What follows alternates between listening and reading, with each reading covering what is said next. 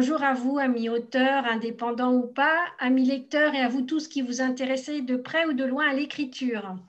Enfant timide, j'ai toujours été touchée par les solitudes vécues par les enfants. Aujourd'hui, l'émission J'irai lire chez vous se plonge dans Solitude mineure avec un S, un roman dans lequel Lucie Desbordes nous offre de plus une rencontre. Bonjour Lucie. Bonjour Mélinda.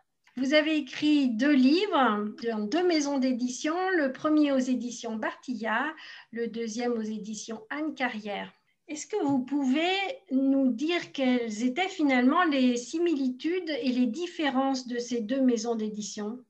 Alors, dans, le, dans, les deux cas, on a un, travail sur, le manuscrit qui est à faire en, amont, euh, une fois que le manuscrit a été accepté par la maison d'édition.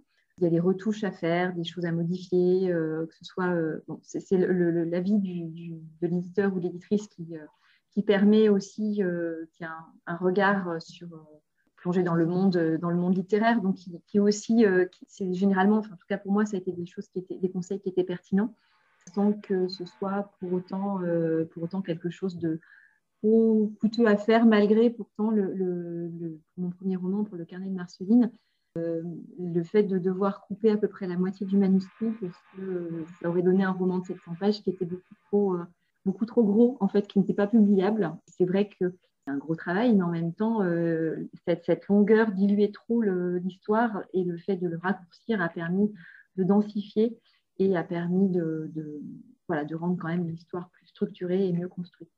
Mais c'est parfois effectivement, alors moi je n'ai pas eu à vivre de vraiment de, grosses, euh, oui, de moments où en tout cas j'ai été en, vrai désaccord avec mon éditeur ou mon éditrice, ça n'a pas été mon cas. Je sais que ça arrive à certains auteurs. Pour moi, ça n'a pas été, euh, voilà, ça n'a pas été le cas. Ensuite, on a du coup, une fois qu'on est d'accord sur la version du manuscrit, on a un jeu d'épreuves qui nous est envoyé, qu'on doit corriger pour euh, corriger les éventuelles copies d'impression, et puis aussi pour modifier encore si on a un, mot à modifier, une tournure de phrase à modifier, etc. Donc, il faut tout relire à nouveau. Et à chaque fois qu'il y a une correction à faire sur le jeu d'épreuves, il faut à nouveau euh, renvoyer ça et euh, jusqu'à ce qu'il n'y ait absolument plus rien sur les épreuves et qu'on puisse signer le bon tirer. Alors, encore une fois, pour le carnet de Marceline, ça avait été assez compliqué, où normalement l'éditeur avait, dit ça, suffit, on va signer le à tirer et on va envoyer à l'impression. Mais c'est ce moment-là qui était à la limite le plus difficile parce qu'on a vraiment envie que chaque phrase soit parfaite, que, que chaque mot soit idéalement placé, que ce soit le bon mot, que ce soit. Euh, voilà, vraiment que, que toutes les phrases, qu'on soit fier de toutes les phrases. Et, et ça, c'est pas facile. Et à un moment donné, il arrive un moment où, de toute façon, il faut il faut que le livre vive sa vie, donc on s'en détache et qu'il parte avec, euh, avec les lecteurs. Il y a aussi du coup un travail qui est à faire sur la couverture. Euh, donc généralement, ce sont des propositions qui sont faites par l'infographiste de, de, la maison d'édition. En ce qui concerne Solitude mineure, on n'arrivait pas à se mettre d'accord avec, avec l'autrice. J'ai une amie qui avait fait un, tableau qui n'a pas été finalement retenu. Donc, ce que me proposait l'éditrice ne me convenait pas. Et puis finalement, comme l'histoire se passe, se passe à Lyon, que la roue de la place Bellecour a une importance, j'ai emmené mes enfants à Lyon, un jour où la, roue de la place Bellecour était là, et j'étais pris en photo, j'ai pris leurs mains en photo euh, devant la roue, et c'est cette photo qui finalement a été, euh, a été acceptée par mon éditeur. D'accord. Et vous avez vécu la même, un peu de la même façon euh, pour les deux romans? Par exemple, tout à l'heure, vous disiez que vous vouliez que chaque phrase soit parfaite, chaque mot euh, trouve sa place. Est-ce que pour le deuxième roman, vous avez un peu euh, lâché la bride ou vous avez vraiment vécu de la même façon le moment où il fallait passer à l'édition? Je dirais que ça a été, pire d'un certain côté, le deuxième roman, dans le sens où, euh, autant pour le carnet de Marceline, comme je collais, entre guillemets, à l'écriture de Marceline, il y avait un style qui était là. C'était, euh, enfin, mon écriture s'était coulée dans celle de Marceline, donc il y avait quelque chose de, de, très structuré, de très cadrant, en tout cas au niveau, du, au niveau de l'écriture. J'ai moins eu ce problème-là. C'est simplement que, voilà, il enlevait encore des mots, des choses, etc. Donc là, le, voilà. Puis, puis c'était long à corriger, donc euh, moment, il fallait vraiment arrêter. En revanche, pour, euh, pour Solitude mineure, c'est vrai que dès qu'il y avait une phrase sur laquelle je tournais trop, au bout d'un moment, j'ai dû, oui, j'ai dû lâcher malgré tout des, choses et me dire, attends, cette phrase-là, je n'en suis pas fière, je ne la lirai pas le jour où je relis le roman. Et, voilà, et mhm. oui, à un moment donné, oui, il faut, quand même réussir à, lâcher puis à passer à autre chose. Mais c'est compliqué, c'est compliqué, comme un enfant finalement qu'on laisserait partir et grandir, quitter la maison. Oui, et, finalement, est-ce que le fait de commencer dans un genre euh, très euh, spécialisé, est-ce que ça, ça, vous a aidé dans un premier temps ou, plutôt est-ce que ça vous a un peu bridé? Est-ce que dans Solitude mineure, vous vous êtes plus laissé aller dans euh, votre imagination, enfin, est-ce que votre imagination a pu se libérer un peu plus dans Solitude mineure, dans, chez Anne Carrière, ou, peut-être que le, la ligne éditoriale est plus généraliste?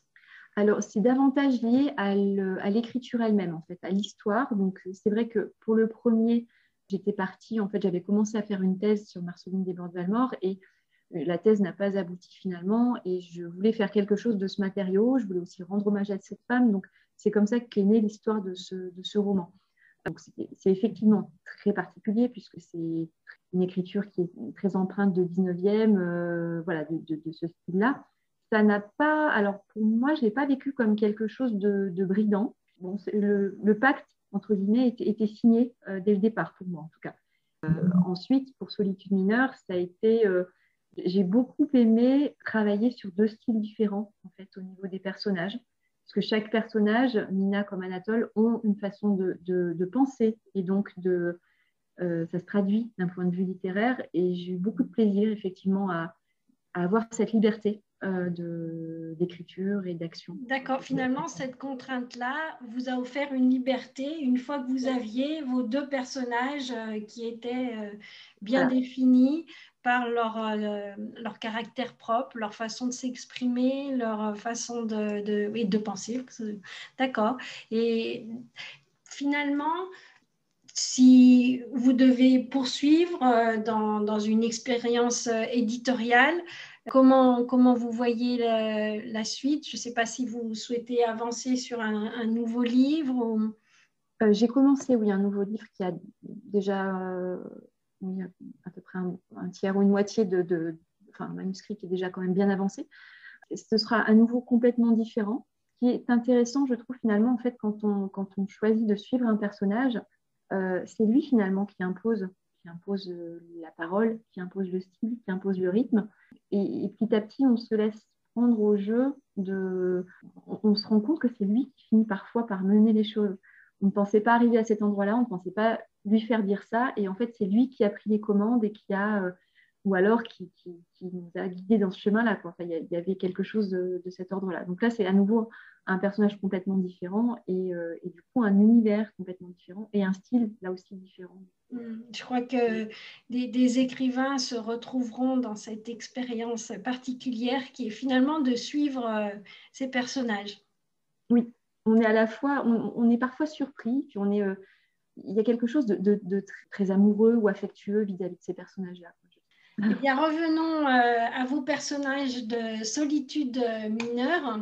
J'ai trouvé que le fait de, suivre deux enfants, dont un autiste, lors de leur fugue dans une ville comme Lyon, c'était quand même pas banal. Et je voulais savoir comment vous en êtes arrivé à imaginer cette situation j'aime beaucoup le, j'aime beaucoup l'adolescence parce que je trouve que c'est un moment qui est, euh, qui est à la fois plein de liberté et en même temps plein de contraintes puisqu'on n'est encore pas complètement, euh, on n'est pas majeur, on n'est pas encore complètement, euh, toutes les portes ne sont pas, pas ouvertes. Et en même temps, c'est aussi une période d'exaltation, de, bouillonnement, tout, est, tout paraît gigantesque, tout paraît démesuré.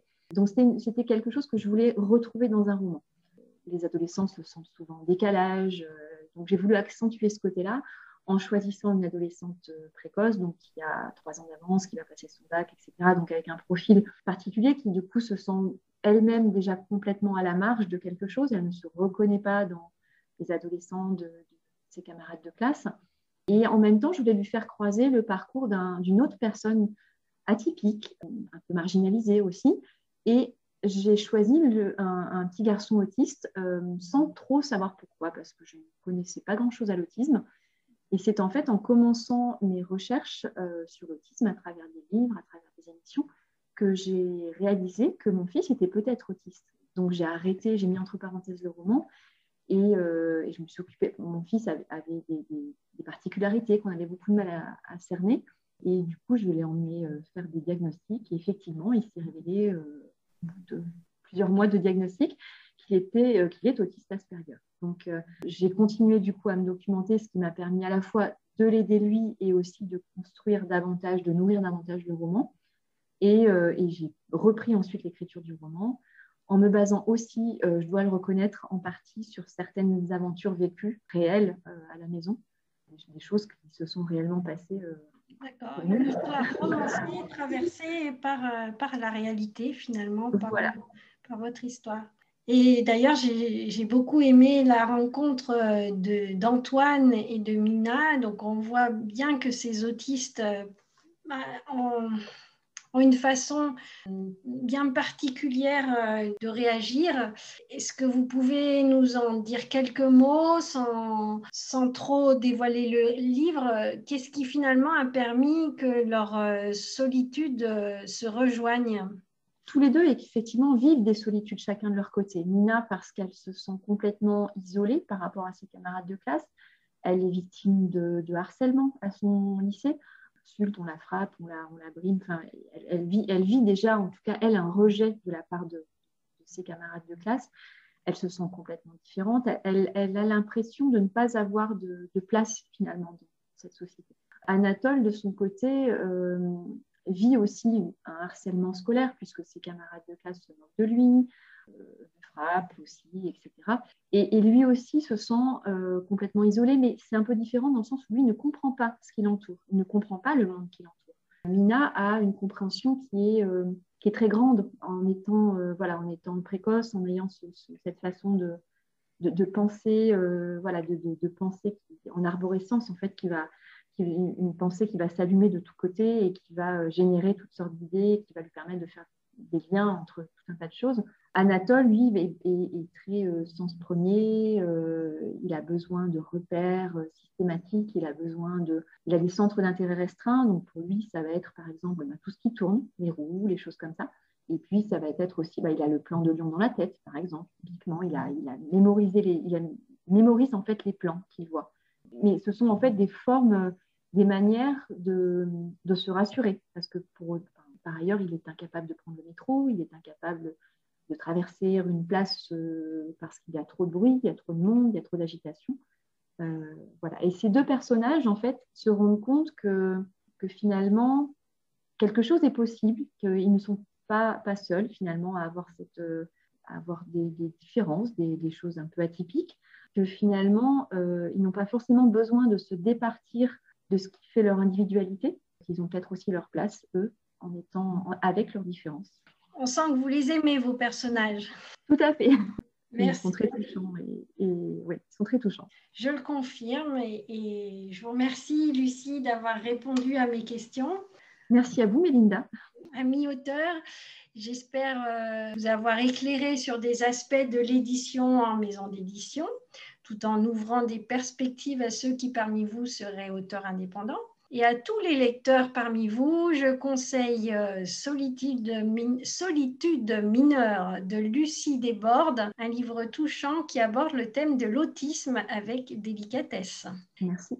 Je vous rappelle que l'émission J'irai lire chez vous est l'une des propositions du collectif Les Indés ce livre, ouvert à la littérature dans toute sa diversité. Merci de nous avoir écoutés et à bientôt pour une nouvelle édition.